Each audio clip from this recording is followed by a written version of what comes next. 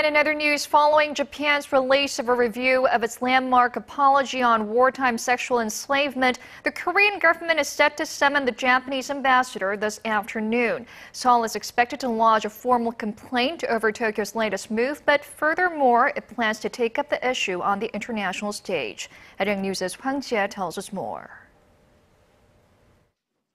With the relationship between Korea and Japan growing increasingly frosty over historical issues, Seoul will summon the Japanese ambassador on Monday. It comes in response to Tokyo's announcement last week of its re-examination into the Kono Statement.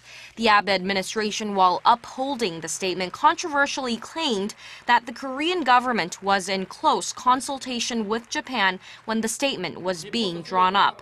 The Kono statement was issued back in 1993 by then Chief Cabinet Secretary Yohei Kono. It acknowledged for the first time the forced sexual enslavement of some 200,000 women by the Japanese military during the Second World War.